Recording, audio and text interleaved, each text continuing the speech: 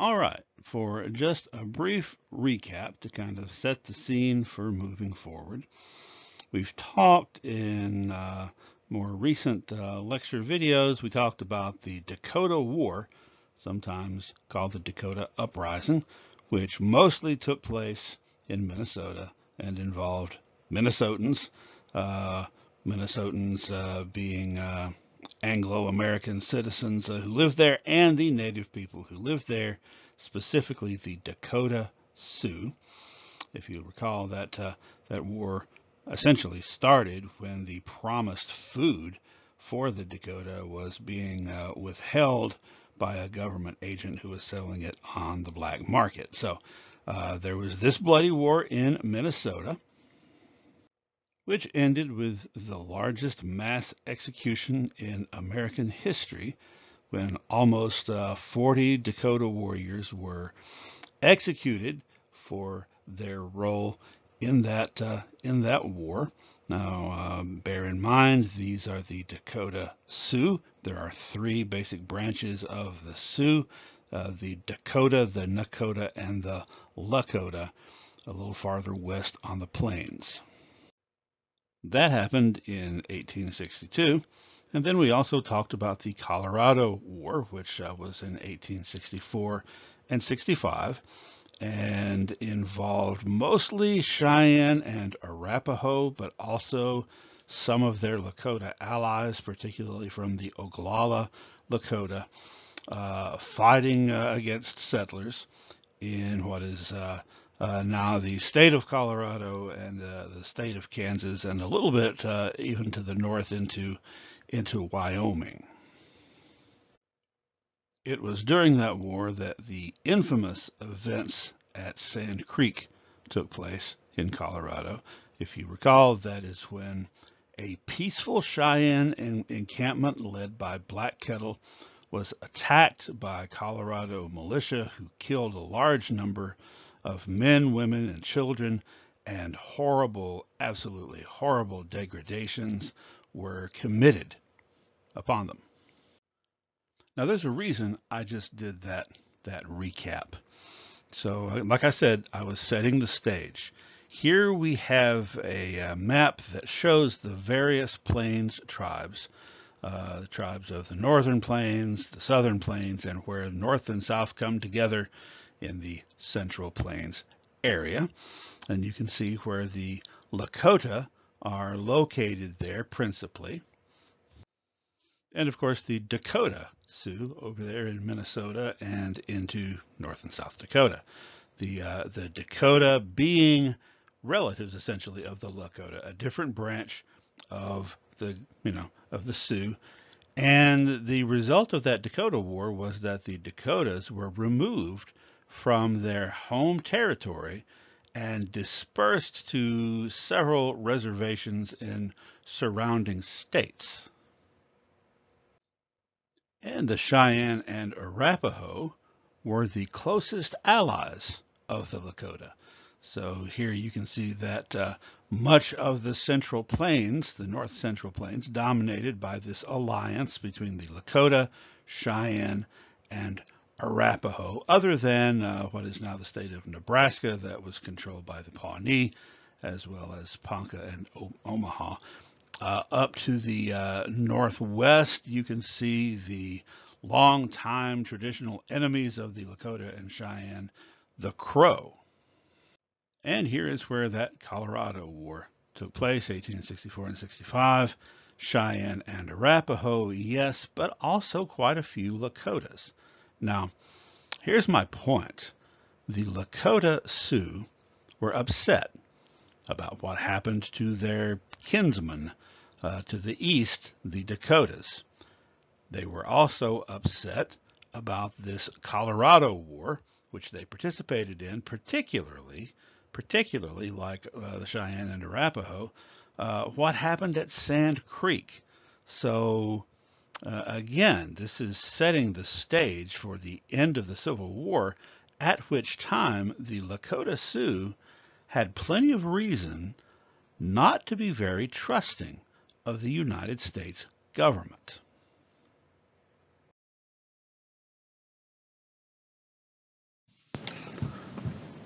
And all of that leads directly into another major war, actually a much bigger and more major war than the Colorado War, that is, uh, is usually referred to by historians as Red Cloud's War, also sometimes referred to as the Powder River War or the Bozeman War. Uh, officially started in 1866, although we're going to look at some things that led up to it. And most of it happened in the Powder River country. So as you look at the map right here, the Powder River, you can see it uh, starting there uh, in, in Montana, and it comes down into Wyoming and goes near uh, Fort Reno there. Uh, it's not far from the Black Hills, which of course are which of course are sacred to the Lakota and the Cheyenne and the uh, the Arapaho and various other tribes as well at different times. Well, here's the uh, here's the background. All right, so during the Civil War, actually, uh, right in the middle of it, 1862, uh, uh, there was gold discovered uh, in in Montana, uh, up in the mountains. There, the, the first gold strike was just west of Virginia City. So you can see that very mountainous area there in uh, southwestern Montana northeastern Wyoming. Well, uh, as you can imagine, when, gold is discovered, you know what happens. People start pouring in. Uh, and you'll also noticed that the Oregon Trail that we've talked about so much, there at the near the bottom uh, going right through the middle of Wyoming, uh, was there. And we know that a lot of people had come come through that route. You'll see that it passes, uh, the Oregon Trail passes right by Fort Laramie, that we've also talked about a lot. Well, um, there were various ways to get to the gold fields up there in Montana that would have bypassed uh, Indian Territory, Lakota territory, but uh, but they were they were kind of long routes. So this guy named uh, John Bozeman in 1863 blazed a trail, established a trail that was an offshoot of the Oregon Trail going uh, northwest. And you'll see that it passes right there through the um, through the Powder River country and goes up to uh, Bozeman Pass, uh, which is a way in which you can get up into those mountains, ending in Virginia City. Well, technically, technically a big portion of that trail, and you can see the Bozeman Trail there in yellow, according to the 1851 uh, Fort Laramie Treaty. Remember that one? Uh, the treaty that the U.S. government had with eight different Northern Plains tribes, in which, essentially, the U.S. government assigned territories to each of the tribes and drew boundaries and said, here is where your tribe is. Well, according to those maps, a lot of this was in Crow territory. Uh, however, things had changed since 1851. The Lakota had been expanding. They'd been expanding westward, and they had sort of pushed the Crow farther west, uh, northwest, up into Montana. Now, from the perspective of the U.S. government, that was a violation of the boundaries set in the 1850 Fort Laramie Treaty. And according to the Crows, because they were, you know, they were on the receiving end of it, uh, it wasn't a good thing because they had lost uh, access to, to that territory. But from the perspective of the Lakotas, and probably it would have been the same from the perspective of, of the Crows if the shoe had been on the other foot. What, what are lines on a map?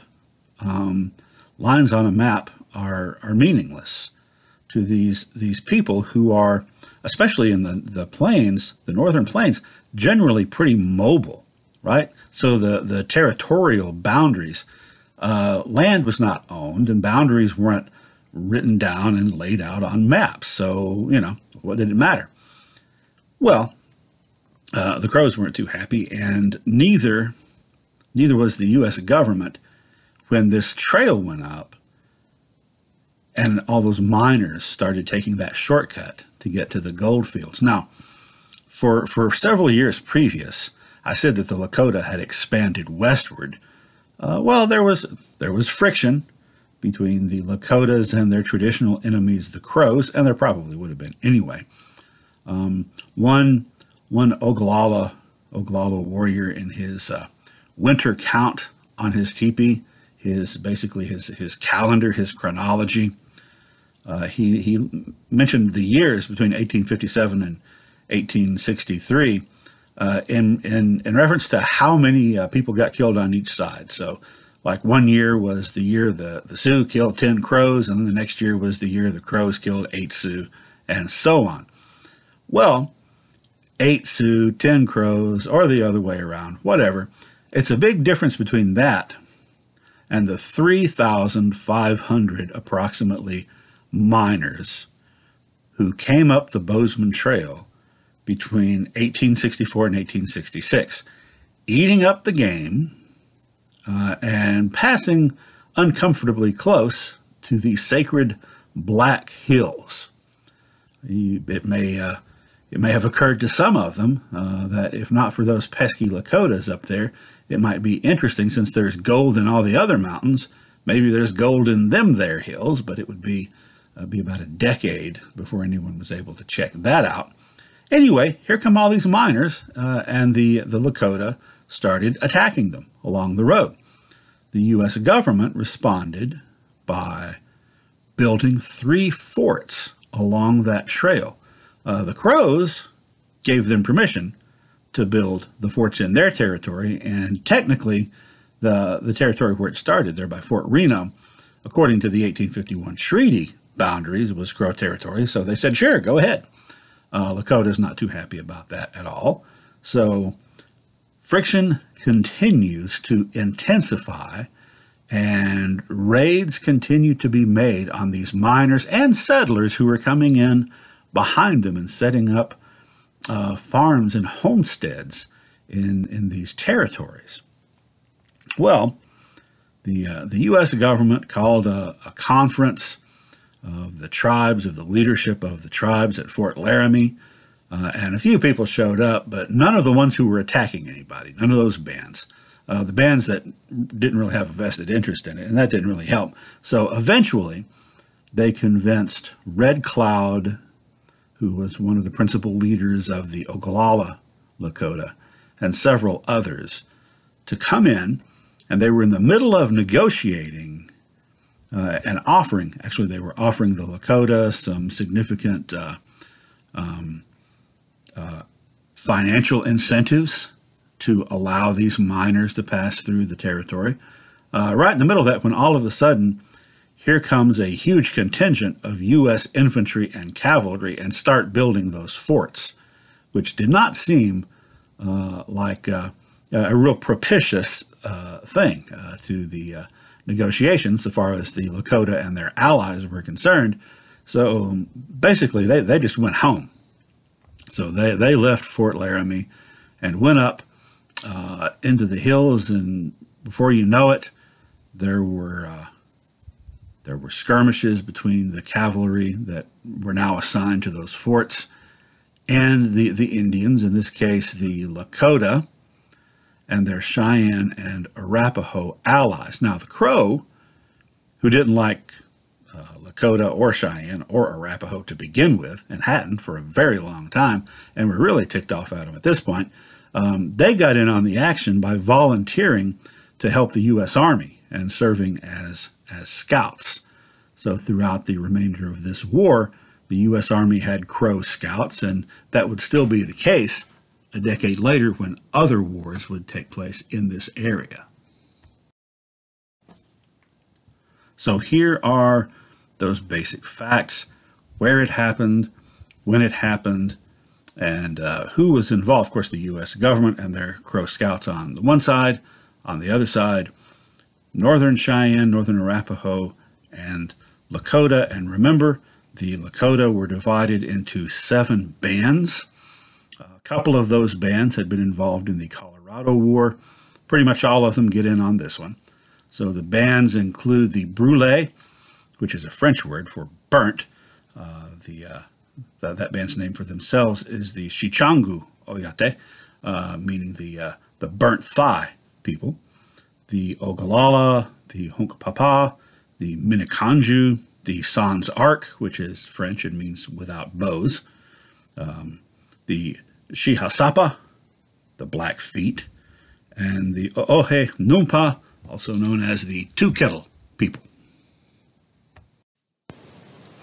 Here are some of the principal leaders on the native side in this war. Of course, you have Red Cloud, for whom the war was named. Uh, that's him right next to his name there in the picture. Um, Red Cloud, one of the principal Oglala leaders at that time. Uh, more about him in a moment. One of the most uh, uh, distinguished and the, the principal, uh, one of the principal leaders of the Cheyenne was Roman Nose, we talked about earlier. Another uh, significant leader from the Miniconjou was Hump, and several from uh, several more from the Oglala Nation, Crazy Horse, whom we've talked about, and also, and this this becomes a little convoluted.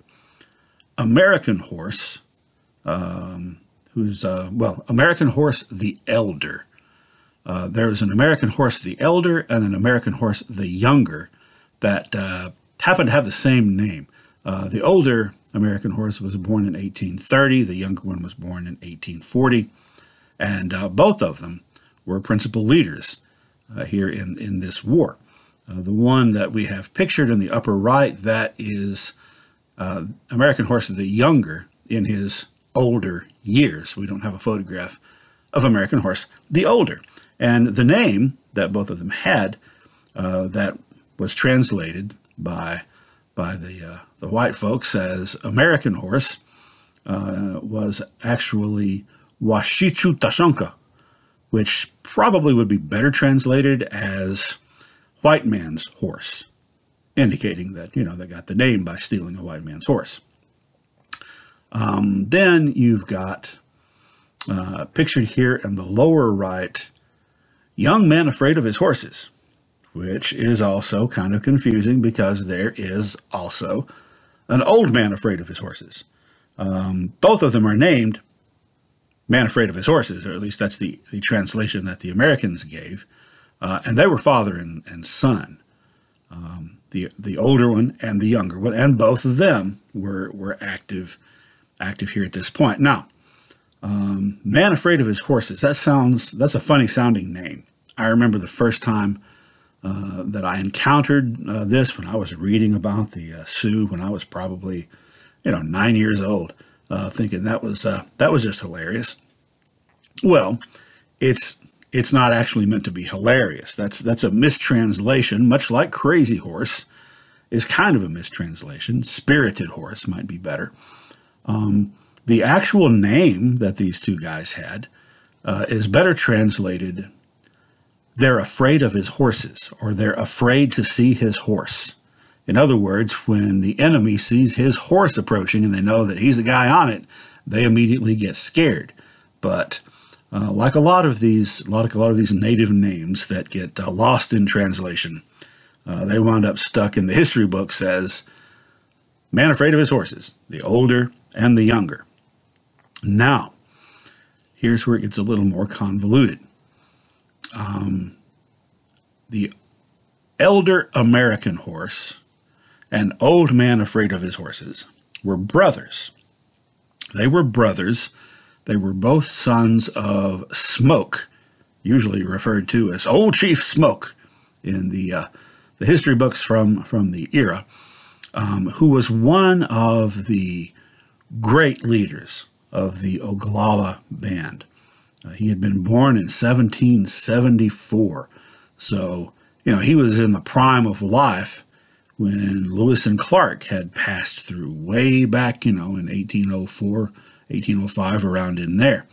And he only passed away um, right around the time that all this was starting in 1864 when he was 90 years old. Well, he was a very, very prominent, highly respected leader. Uh, in fact, um, they say that his, his war bonnet and each feather, in, in the war bonnet was uh, representative of an act of courage. Uh, each each individual feather. He had so many feathers that it was like the largest war bonnet that anyone had ever had. That it trailed down behind him, not only to the ground, but trailed behind him on the ground. And he was six foot five. Red Cloud was the nephew uh, by birth of old Chief Smoke. I think he was uh, the son of uh, one of Smoke's brothers who died in battle when Red Cloud was little. So his uncle adopted him and raised him as his own. This means that Red Cloud and American Horse the Elder and Old Man Afraid of His Horses uh, were considered to be brothers, and that would explain why, um, you know, being the sons of the most prominent chief ever of the Ogallala and Lakota being um, patrilineal, that they would be right there. Uh, not that there's uh, such a thing as hereditary leadership, but just being in that family gave them gave them some uh, respect and, and also you just imagine the things that they they had been taught. Now, when this war, Red Cloud's War, was over, there were four um, four Ogallala leaders named as shirt wearers, uh, which is the highest possible, highest possible office and function of a warrior outside of outside of chief. It was uh, uh, the the chief military honor. And when earlier when I was talking about Crazy Horse, and I, I talked about how his various deeds there during the Colorado War led to him becoming a shirt wearer. Uh, well, I, I was a little premature there. I guess, because it was those things that first brought him to distinction. And then his, his actions in, in this war, which came so close on the heels of the other one, it was like the same war, really. So uh, the four shirt wearers who were appointed in 1868 after the treaty was signed, basically, this is like getting medals when the war is over, were Crazy Horse, American Horse the Elder, an Old Man Afraid of His Horses, and Another Ogallala whose name was Man That Owns a Sword. Uh, he hasn't uh, he, he wasn't documented as well in the in the history books, but uh, these are these are the some of the principal leaders on the side of, of Red Cloud in the fight. This next incident takes place just uh, just near Fort Phil Kearny, which is is shown on the map here, but isn't named. It's the red dot in the middle next to the creatively spelled Fetterman Massacre. So you've got three red dots along the Bozeman Trail in that little section. Fort Reno to the south. Uh, the one in the middle that's not named here is Fort Phil Kearny. And to the north, you have Fort C.F. Smith. At the time that the, the fighting started, Fort Phil Kearny wasn't completely finished. It was still being fortified, if you will. So the uh, the fact that they have to have more wood for construction, plus their wood needs just for fuel, uh, as well as they need hay for their horses, is uh, uh well, those are going to be two logistical problems that that have to be solved by by the U.S. Army there at Fort Phil Kearny um, because this area is uh, in in this this place where there's not very many trees at all. So they had to travel a ways outside the fort to get to wooded areas to cut down trees to bring back for further construction and the other things that they needed. There was also a large hay field uh, where they grew the uh, particularly tall grass for for their horses. Uh, that was just a little bit north of the fort. So the construction, the the the logging, and the the hay mowing, all that stuff was done not by soldiers but by civilian contractors. So civilians would be hired to come there, essentially live at the fort, and go on these uh, these short trips to either get wood or get hay or whatever and soldiers were assigned to go with them, squads of soldiers to protect them. Well, uh, that was obviously necessary because there's a war going on with the Lakota, Cheyenne, and Arapaho. And they were frequently making raids. And these, um, these small parties going out to, to cut wood, especially, were frequently attacked. And they went through quite a number. They went through dozens of civilian contractors and uh, some soldiers, too, that were, were there to protect them, being killed and or wounded. Well, killed and or wounded. Killed or wounded. Um, so, so that was uh, that was an issue, uh, and so uh, reinforcements were called for for the fort, and uh, something had to be done. Uh, these these squads need to be a little bit larger, and that's what brings us to the the situation at hand.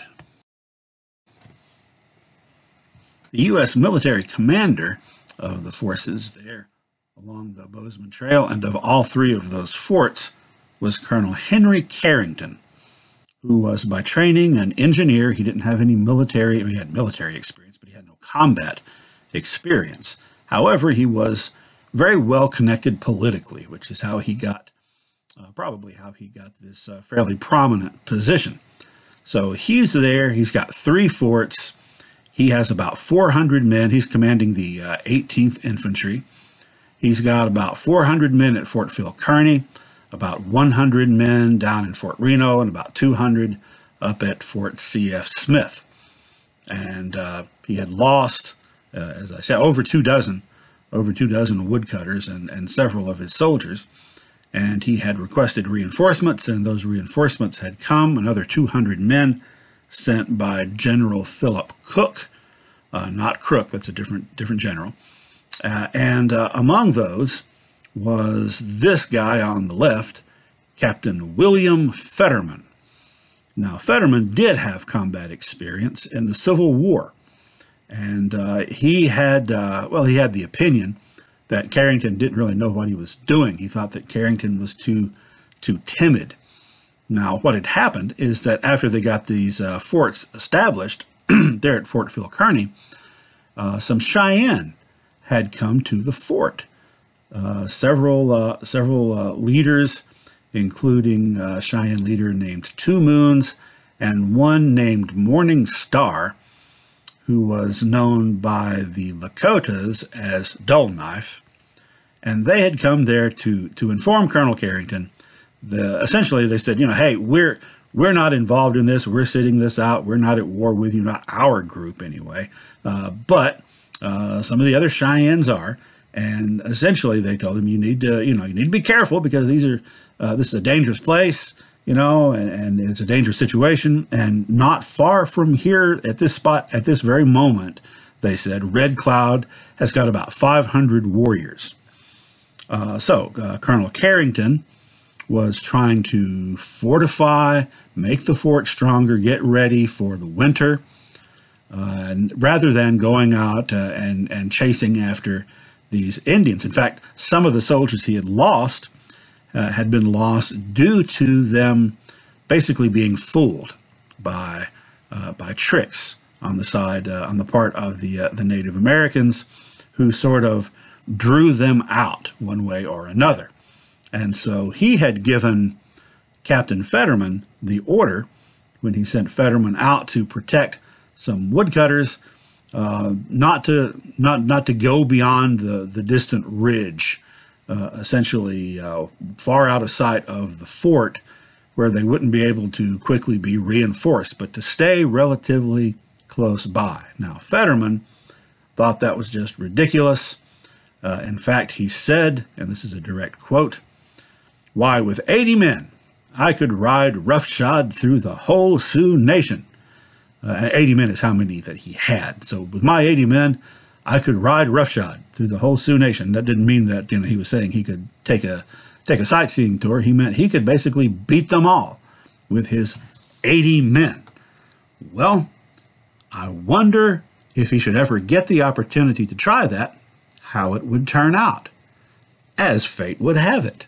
Why, it, well, he was going there to, to protect the woodcutters he was he was distracted by a small group of of warriors, uh, just a handful in the distance, and they stood up. They stood up on the backs of their ponies, and mooned the soldiers and yelled at them derisively.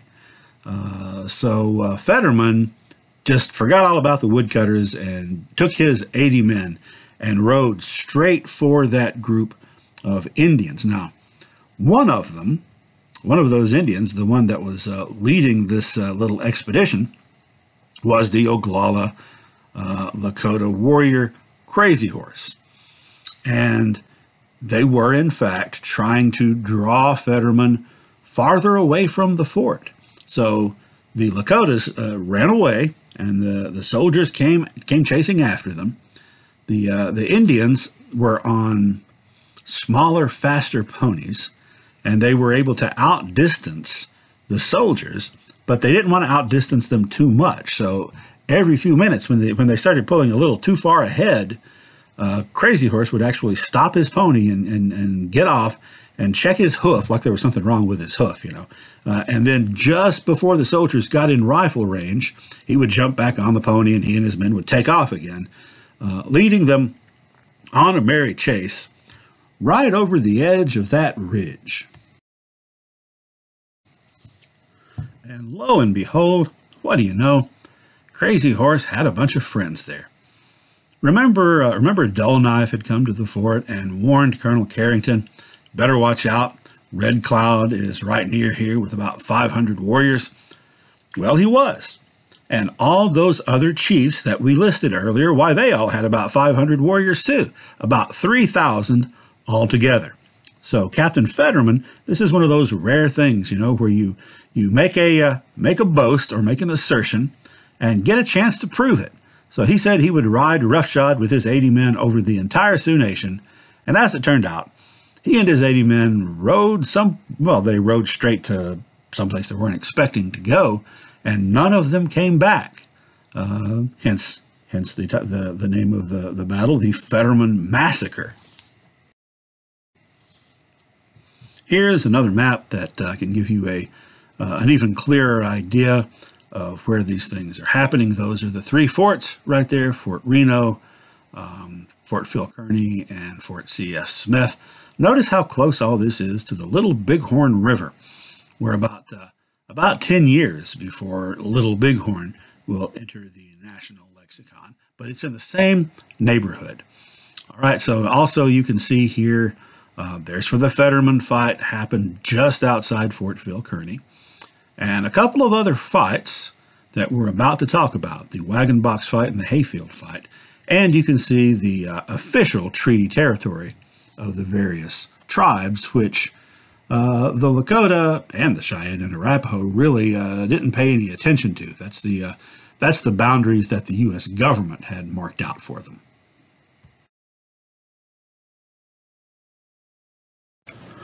Now we're going to talk briefly about weapons, and you'll see why in just, uh, just a minute or two. At the top there, you see the 1863 Springfield rifle. That is the uh, standard weapon used by the uh, U.S. infantry during the Civil War, the Union Army uh, during the Civil War. Confederates used one practically just like it called the Enfield the big difference being that the Springfield was manufactured in Springfield, Massachusetts, and the Enfield was was bought from British manufacturers. Either way, um, the uh, the Springfield that was used during that uh, Civil War period was a muzzle loader, and you know how how that works, right? It shoots one bullet at a time, and you have to uh, stand the gun straight up, and you have to drop the bullet into the barrel, and then you drop the powder into the barrel, then you take out the ramrod, which is that long, long, thin rod that is uh, underneath the barrel there. You pull that out, and then you shove that down the barrel uh, with the gun still standing standing up, or if you're lying down as far up as you as you can get it, and you tamp it down, tamp down the bullet and the powder with that long rod. Okay, so this took about 20 seconds to, to reload.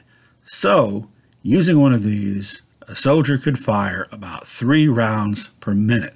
Now, these are the weapons that uh, Fetterman's, uh, Fetterman's men, that the 18th infantry had at, at the Fetterman fight in December 1866. So they were horribly outnumbered and they were, uh, well, they were going to lose regardless.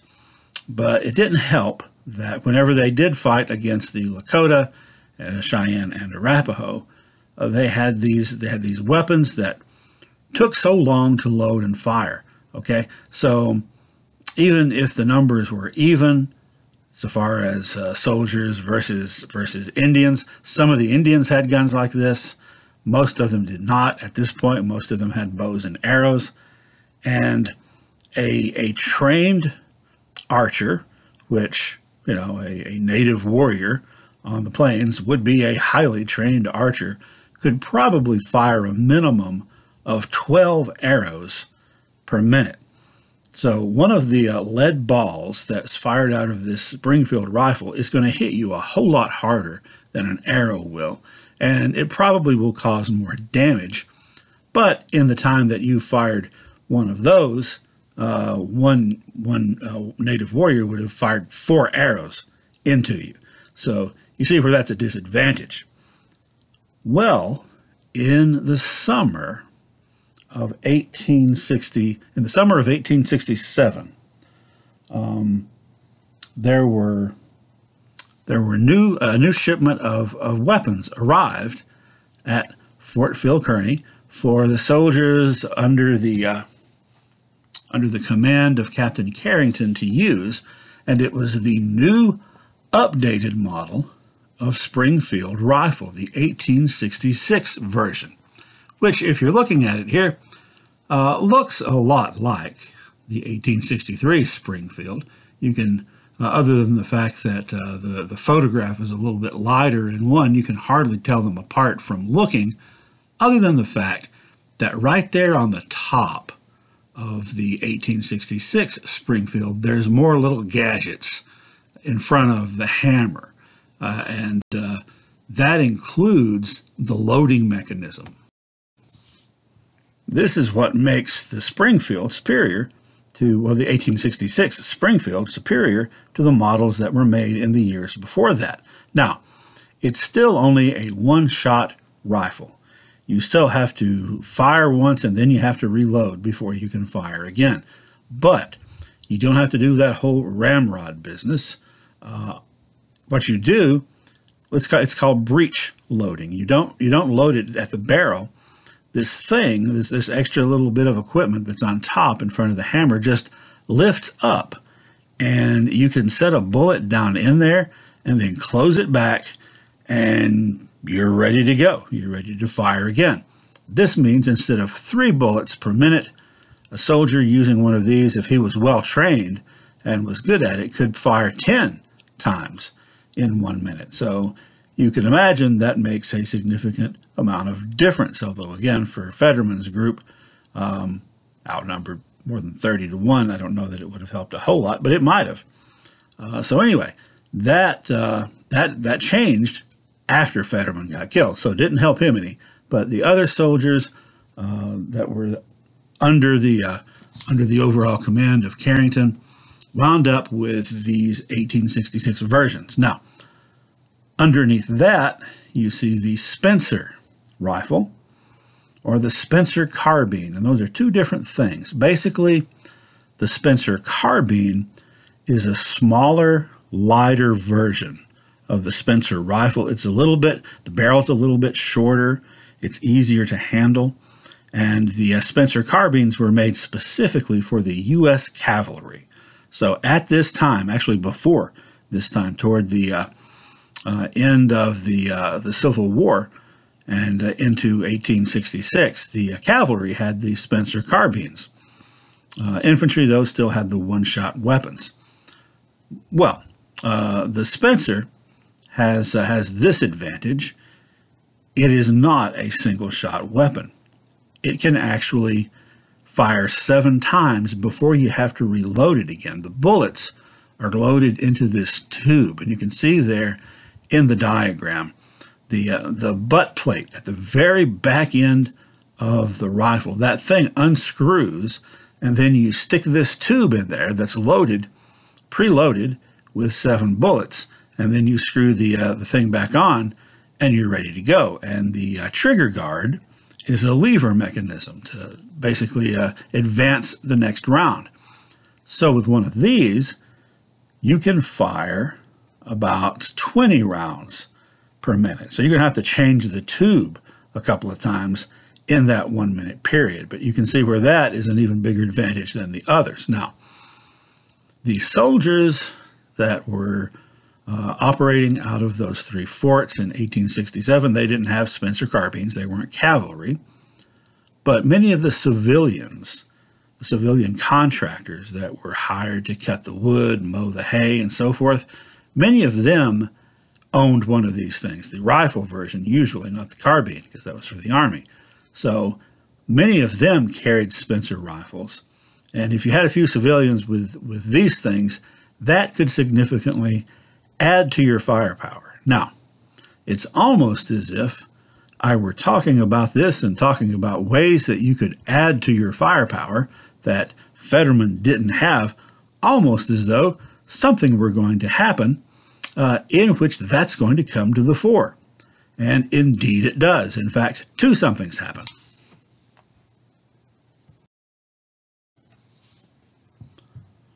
Around August the 1st, 1867, there were about 1,500, maybe more, Native American warriors gathered along the Little Bighorn River.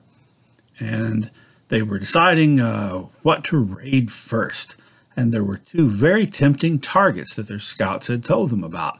They knew, for example, that not very far away at all, uh, at the uh, uh, the hayfield, that there was a contingent of, of civilian contractors guarded by some soldiers that were there mowing hay. But at the same time, they there knew that there was also a squad of soldiers protecting a group of, uh, of lumber lumbermen, lumberjacks basically, that were going out to, uh, to cut trees not too far from Fort Kearny. So, which one to go after? Well, they decided why not just get them both around the same time? So they just divided their forces.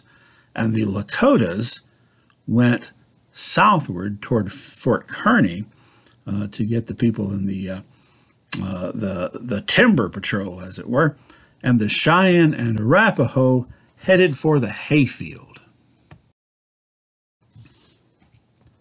There were 21 soldiers at the hayfield, protecting nine civilians who were cutting hay. However, um, they had taken they've been they had been uh, working in this area before, okay, and they had previously built a little mini fort uh, with a little mini stockade uh, that provided like a, uh, a fort grounds area. So this was about probably, you know, five, six feet high um, that stretched around. It wasn't huge. There were a few tents in there. And so the workers would be out in the surrounding area cutting hay, but if they saw if they saw Indians coming, they could run and jump over this thing and get inside the enclosure and at least have the enclosure and at least have some cover. Uh, so anywhere between 500 and 700 Cheyenne and Arapaho did come swooping in on them.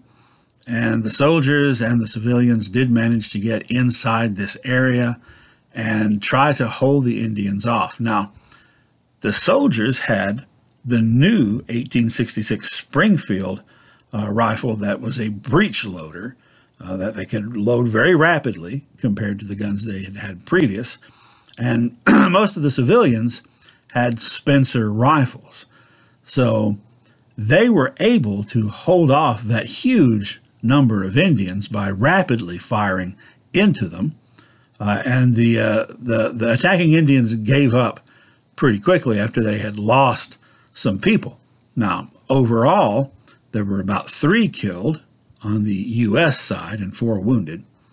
And uh, among the uh, Cheyenne and Arapaho, accounts vary by which I mean the white people said they killed 23 Indians.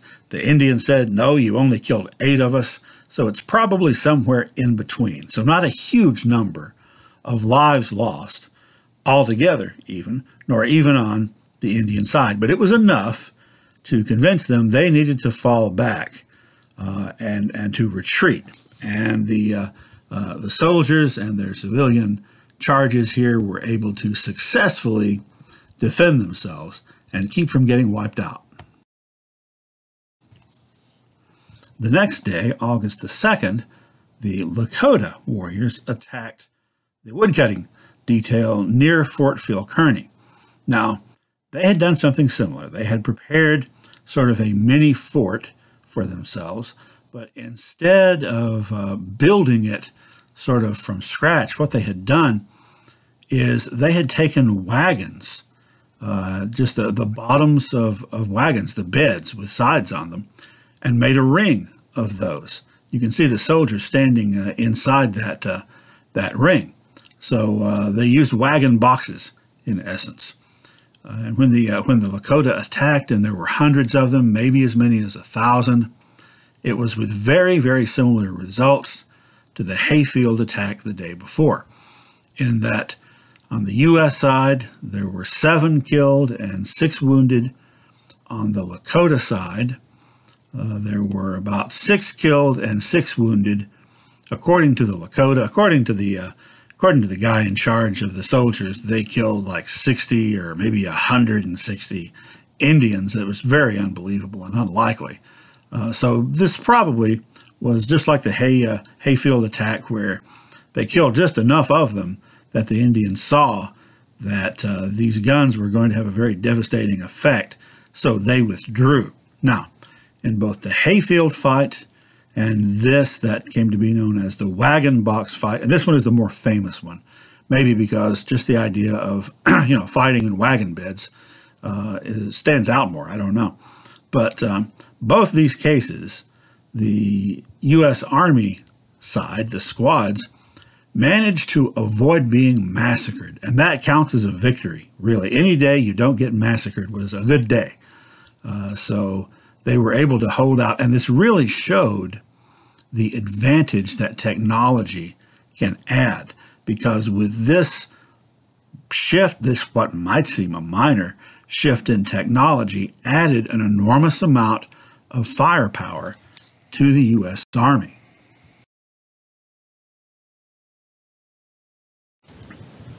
Two very important treaties were signed in the late 1860s. The first one that we'll look at took place in 1867, October 1867, on the Southern Plains, the Medicine Lodge Treaty, which actually is three separate uh, treaties, but it's usually referred to kind of rolled into one because it was to end the same conflict.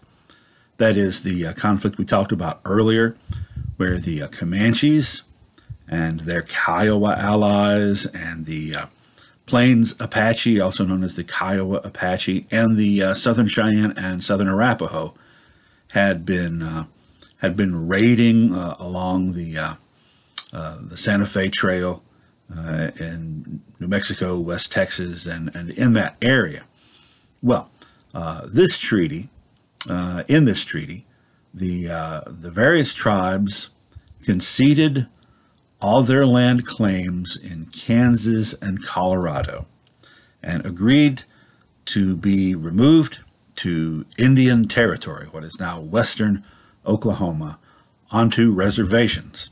So one treaty was with the Comanches and Kiowa together, a separate one just for the Plains Apache, and then another separate one for the Southern Cheyenne and Southern Arapaho. Uh, so that the uh, Southern Cheyenne, Southern Arapaho wound up on the same reservation as did the Comanches and Kiowas. Now, the Dog Soldiers were a different story. Now, the Dog Soldiers, you will recall, was one of the military societies of the uh, of the Cheyenne that had first been established in the 1830s and wound up being uh, very popular a lot of warriors wanted to join it, and it got really big, so big that in, in many ways it could be considered its own separate band. Uh, not surprisingly, since this is a military society made up of people who um, uh, really wanted to be to, to be known for their military exploits, uh, they did not uh, they did not abide by this treaty. They did not agree to this treaty, did not agree to give up their hunting rights in Kansas and Colorado. And they kept hunting there and they kept conducting raids there on on settlers and on soldiers whom they uh, they believed were trespassing on on their territory. So Southern Cheyenne dog soldiers, they keep fighting. Also among the Comanches, the Quahati band that was led by Quanah Parker, also called Quahada, uh, led by Quanah Parker. Uh, they had been planning to be among the Comanche bands who came to uh, uh Medicine Lodge to sign this treaty, but uh, there was an outbreak of smallpox among their band, and so the the leadership didn't make it in time to the signing of the treaty, so they never signed it. So after all this was established and the uh, other Comanche bands agreed to go to uh, Oklahoma and be confined to a reservation, the Quahati band said, well, we never signed anything. We weren't there. So they refused to acknowledge uh, that that treaty applied to them, and they stayed in their, their region in the uh, Llano Estacado, or the Staked Plains of West Texas. But as for the other Comanche bands, they all uh, their their leadership all signed, and that meant the end of the Comancheria.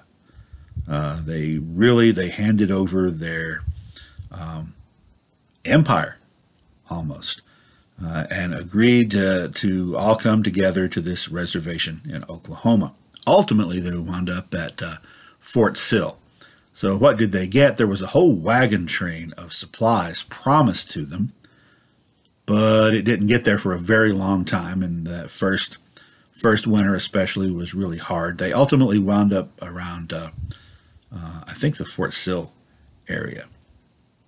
Uh, in the uh, northern plains, Red Cloud's war came to an end with the 1868 Treaty of Fort Laramie. Now, there was an 1851 treaty Remember, that's the one where those eight different Northern Plains tribes had signed on and agreed to allow safe passage to uh, settlers along the Oregon Trail, uh, agreed to let the Army build forts, all that stuff. This is a different Fort Laramie Treaty. They are both very important, and they both get mentioned a lot in uh, discussions of uh, the, the Northern Plains, but also the discussions of American Indian history in general.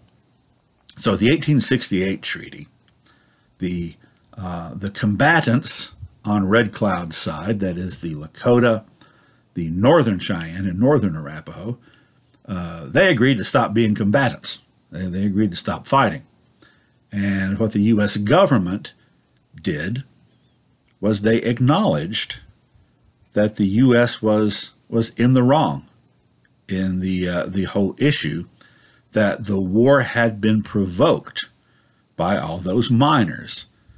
Remember, there were about 3,500 of them who had uh, encroached onto uh, Indian territory in the northern plains on their way to the gold fields along the Bozeman Trail. So the U.S. admitted that's what started the war, and the U.S. agreed to not, not allow it any further, not let it happen. They closed down the Bozeman Trail. So at that point, after that point, you wanted to go to Montana, you wanted to go to Bozeman, Montana, you wanted to go to the gold fields for whatever gold might have been left by that time, you had to take the long way around. You couldn't take a shortcut through Indian country. So uh, the Bozeman Trail is closed. Uh, there was an admission of culpability and a guarantee that all three uh, tribes, uh, Lakota, Cheyenne, and Arapaho, would be guaranteed hunting rights throughout the northern plains, including that area that the 1851 treaty had marked out as being Crow territory. So uh, they were allowed to continue hunting there. Also, the United States government guaranteed the safety of the Black Hills, which was of course, sacred to all three of these tribes. They guaranteed that there would be no encroachment of the Black Hills, that the Black Hills would be off limits for non Indians, and that the government would enforce that. That makes this this treaty and this war, Red Cloud's War, very significant. Um, when we talk about wars between the U.S. government and Native Americans, it, it usually uh, usually ends badly for for the Indians. Always does in the long run, but in the short run, it usually ends badly. Sometimes there might be a battle won, like the Fetterman fight, uh, but the war would ultimately be lost. This is one of the very rare cases where the Indians won the war. Essentially, they got everything that they had been asking for. They got uh, they got peace on their terms, which you know is is really unusual, sadly, but it did lead to peace on the northern plains for almost a decade, for about eight years, um, until the same thing happened that ended the peace of the original 1851 Fort Laramie Treaty. Gold, discovered in 1876. But uh, that's a story for a little bit later.